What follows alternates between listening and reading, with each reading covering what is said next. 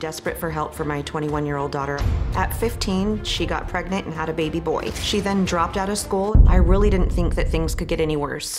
But for the last two and a half years, my daughter has been working as a prostitute. I was completely floored and I had no idea what to do. I feel like my mom is kind of making a big deal out of all this. It's addicting, it's kind of like a rush.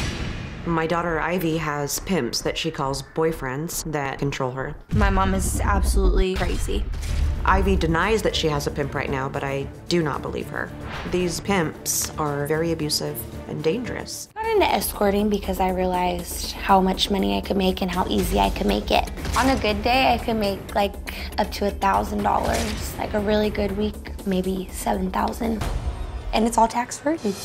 Now, I could never fathom working for $9.95 an hour.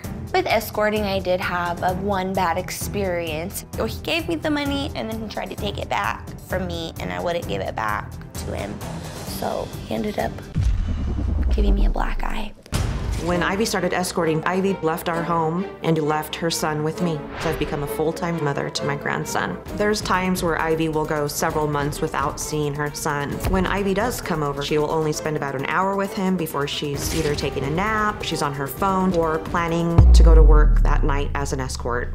Is this what you want to be doing in your life? It doesn't bother me. Like I don't wake up every day like, ah, you know? Like I hate this. You know, sometimes we'll make a bad choice in our life and it doesn't seem so profound. But here's the problem.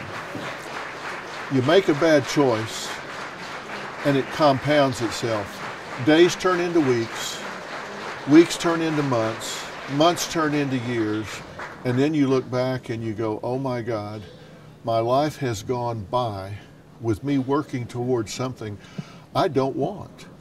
I'm doing something I don't want. I'm working towards something I don't want. And you look back and say, what was the genesis? Where did this start? It starts because you made one bad choice. You went left when you should have went right. And, and, and when you started down that road, it's just like, I didn't intend for this to be permanent. I didn't intend for this to define me. But I just woke up one day and I did what I did that day not because I wanted to, but because it was what I was doing yesterday. It, it isn't what I wanted to do, it's just I was doing this yesterday, so I'll do it again today. And then I'll do it again tomorrow because I did it yesterday. And then you, you realize you're not making active choices, you become a passenger. You're just riding along the river. And at some point, ask yourself this sit down and ask yourself, why am I doing the things I'm doing today? Why am I, why am I doing the job I'm doing today? Why I have the personality I have today, why do I have the relationships I have today.